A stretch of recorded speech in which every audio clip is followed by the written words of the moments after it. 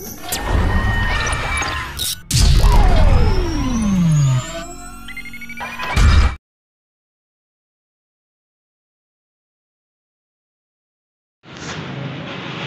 lang po video ko kayo para i-upload ko sa ano sa Facebook tapos matulungan ko kayo. Ito kabi sa tabi be. Ayan po si tatay. Ha? Kaya sa taga saan po kayo? Na, naka, dun- din- sa kasama ko po, kasama po kami na ano, po ko rito. Ano po pangalan niyo po? Manuel po, Manuel ano po? de la Peña po, Ulaso. Manuel? Manuel de la Peña, Ulaso. Okay po. Tapos saan po yung pamilya niyo? Hindi po nila alam, pero na, bandang ko nilalaman na po, pero hindi na po nila inalam, hindi na po nila.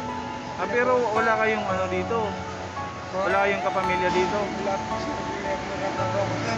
Sige, bibigyan po ko po kayo ng pera. Tapos kung may mga tumulong sa akin or magbigay ng tulong, bibigay ko po sa inyo. Tapos i-upload ko po sa YouTube. Salamat. Sige po, sige po, wala po problema. Sige po, bibigyan ko po kayo ng pera. Sige po. Ayan po si tatay. Baka gusto niyo pong tulungan. Wala na po siyang kamag-anak dito sa Maynila. Yung mga gusto pong tumulong, ah, pwede po kayong magulog sa Gcash ko po para matulungan po natin si tatay sa pang-araw-araw na pagkain niya. So, ayan po. Ayan po siya. Ito po, ako, ako po yung ano, taga Bicol po ako. Si Kabicol po. Taga saan po kayo ulit?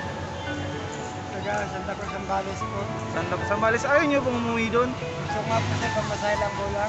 Oh, sige, sige po. Pero pag may tumulong po sa inyo, bibigyan ko po kayo ng pamasahe. Sige po. Ano po pangalan niyo ulit?